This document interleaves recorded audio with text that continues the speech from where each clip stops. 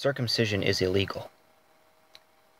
I contend that male infant circumcision is probably already illegal in the United States of America.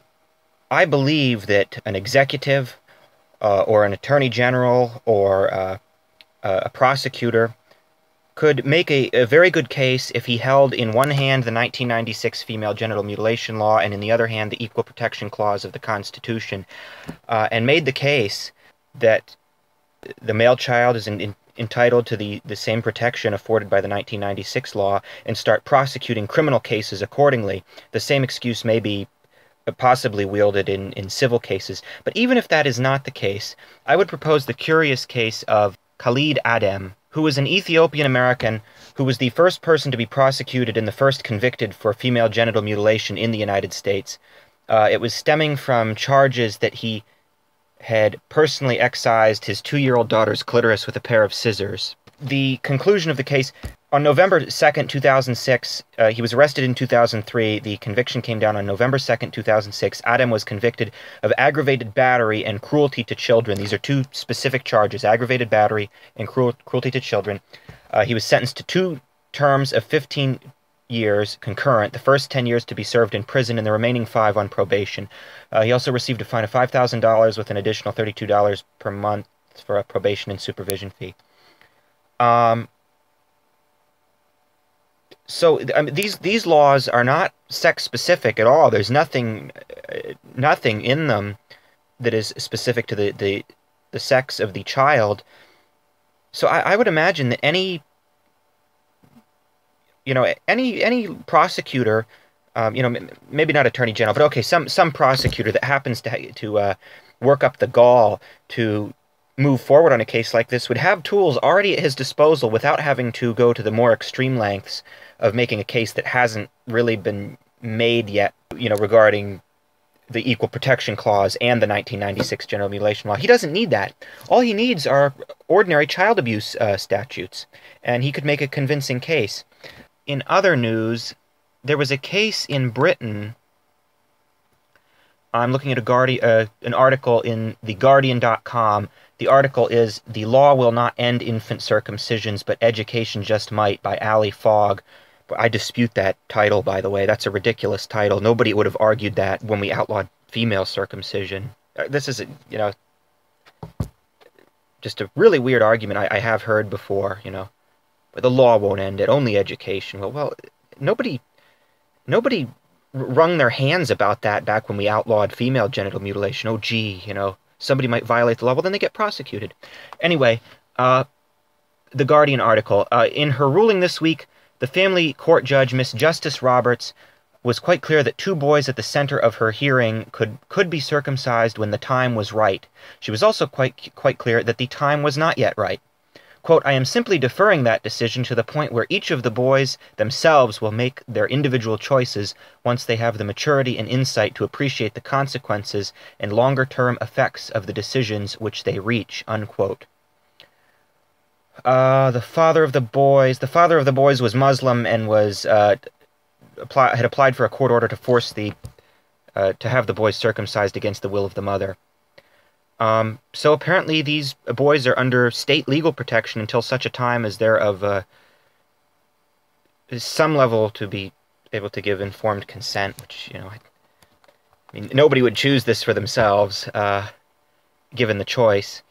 Uh, this is an interesting case. It is not unique. Last year in Florida, a similar court case ruled the other way, obliging Heather Hieronymus, a mother, to surrender the care of her four year old boy, Chase Hieronymus, to his father to arrange his circumcision. Yes, I'm, aware of this case. This, uh, this case ended horrendously. Uh, I, it, it, makes me physically ill to even think about it.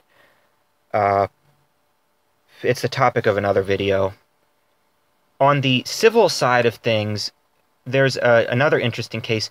As you can probably imagine, courts have typically been unwilling to hear civil cases involving circumcision, uh, except for cases where the, the damage is excessive, you know, beyond average, beyond the average case, which, I mean, to me is ridiculous. Every circumcision is botched, uh, in a manner of speaking, or rather, they, they all involve an element of harm inherent in them. Uh, you know, the, the amputation is the harm. It's, it's why amputation is not uh, frontline medical treatment. It is a, an an option of, of last resort when other options have failed and the patient's life is in significant danger. Um, the case I'm pointing out specifically was the case of William Stowell. I believe it was decided in 2002. He ended up getting awarded an undisclosed sum of money. The thing about the case, which was interesting, is that it did not involve uh, a botch job. So obviously, you can sue with uh, with a botch botched circumcision.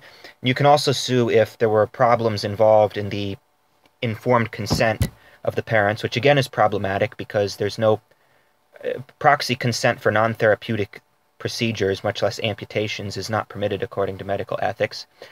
But uh, th- that's another nominal reason you can sue, and th- there may have been some problems with that, but that's not how this case was decided. That the, the mother, the part of the case was that the mother was under the influence of post cesarean painkillers uh, when she agreed to the circumcision. But it wasn't decided on that. It was decided uh, based on the fact that the circumcision itself had harmed uh, Mr. Stowell, William Stowell. Stowell's lawsuit is the. Uh, I'm reading from an article on CIRP.org, CIRP.org.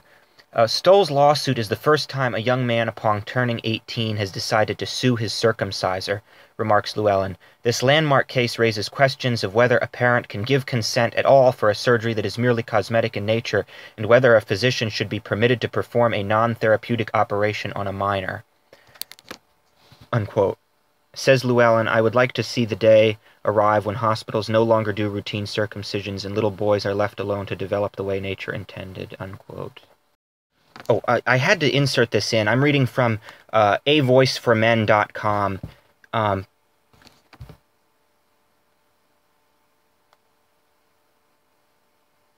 I, I assume this was this was prior to or around the start of the um, William Stowell lawsuit. Stowell, who upon turning 18 in December of last year filed a lawsuit in New York for damages in excess of $75,000 against Frank P. Cariello, the obstetrician who circumcised him, and against Good Samaritan Hospital in West Islip, New York, where the procedure took place. Stowell is not suing for medical malpractice. Uh, no one claims that the physician negligently performed the circumcision. The suit is for battery, defined as an, quote, offensive touching, unquote, under the law, for performing the procedure that was not medically necessary, and for fraud, claiming that the surgery was done without proper consent. Stowell's mother signed the consent form, but she says she did so while under the influence of Demerol and other drugs administered to help ease her pain after delivering her son by cesarean section. Uh, and apparently the ruling focused a good bit on the the battery aspect of the case. So this is this is some some information on the current legal status of circumcision, and hopefully, as uh, the the wheels continue coming off the circumcision bandwagon, uh, more people begin suing uh, and winning, and maybe we can get sympathetic people uh, in prosecutors' offices to start bringing up cases. I mean, the the circumcision rate is fifty percent and trending downward. Uh, is below 50% and trending downward every year. Um, it's the, the, circumcision rate is collapsing. It's over. We know it's over. It's only a matter of time. And uh, you know, you imagine somebody from this generation or from coming generations growing up, becoming a judge, becoming a lawyer in a position to rule on cases or fight cases like this. You can imagine things will go our way, even if if the, the letter of the law does not necessarily change. So that is my take on the current situation. Feel free to comment.